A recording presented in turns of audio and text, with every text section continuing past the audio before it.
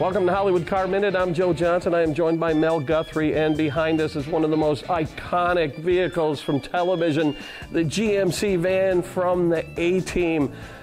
Mel, you got to tell me about this car. This is the uh, later in the series version where they blacked out the GMC because they weren't getting sponsor money anymore from them. Oh, interesting. George Peppard grew up in Dearborn, Michigan.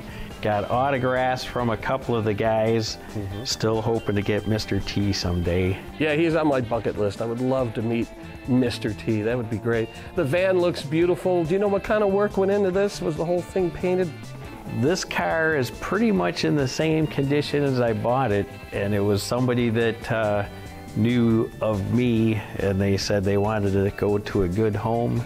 It was actually, I think, the second Hollywood car that I ended up with. All right, Mel, thanks for uh, sharing it with us. And I love it when a plan comes together.